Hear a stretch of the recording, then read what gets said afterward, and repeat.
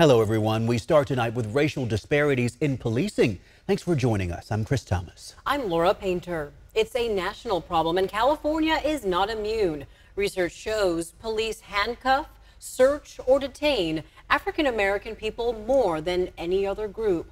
As our race and culture reporter Kandace Redd explains, African American youth experience that same kind of treatment at higher rates. In California, racial disparities in policing persist year after year. Traffic stops are driving a lot of the disparities. An annual state report shows black people are disproportionately stopped by the police. Most stops are marked as reasonable suspicion. Black people are overrepresented in stops not leading to enforcement, which means not even a warning was issued. Um, and this especially is true when the stop is more intrusive, which is for example, a person being asked to step outside the vehicle or being put in the back of a patrol car or handcuffed. Last Tuesday, Sacramento police pulled over a pregnant mother at gunpoint with her eight year old son in the car. I just proceeded to listen to instruction and I did instruct my son just stay here, keep your seatbelt on, don't say anything. Shawnee Stewart tells ABC 10 she was scared. That's when I looked in my rearview mirror and I seen that they had guns pointed towards the car.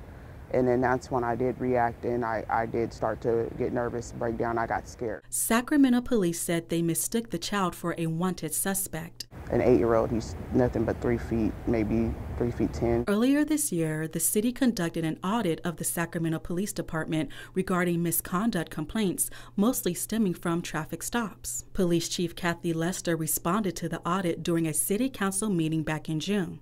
We do agree on some very fundamental aspects of this report. We agree that our department can and must do better to meet our standards with every stop and encounter. And we agree that there are evolving best practices in law enforcement, and we must continually seek to adopt these. Research shows black people, including the youth, have the highest rate of being searched, detained, handcuffed, and removed from a vehicle in California. The only way to solve it is to talk about it and to and to realize it that, that it's actually happening. Darrin Bell lives in South Sacramento and wrote this book titled The Talk. The talk is the conversation that parents of black children have to have to have with them at too early an age to prepare them for a world that sees them differently than it sees their white friends. In the book, he opens up about his experience being profiled by the police in Los Angeles at six years old. He says he was playing outside with a bright green toy water gun. And I bent down to fill it, to refill the water gun in a puddle. And that's when I heard somebody say, drop the weapon. I looked up and it was a police officer. My first thought was, he's playing with me. But then I saw him reach for his gun. The next thing I knew, I was just, I had my eyes closed and I was just wishing he would go away um, and hoping nothing would happen. And I was frozen. I was completely frozen. Eventually, he left. His message to law enforcement? That all children, whether they look like you or not, are precious. So, how do we make law enforcement the law enforcement that we need. Former Sacramento Police Chief Daniel Hahn says it takes the police and community working together. Quite frankly, stop the division because the division doesn't work. Definitely, law enforcement is by no means innocent and has played their fair share in it. But all of these things that we talk about, major systems like law enforcement, the criminal justice system, is so intertwined with the rest of society.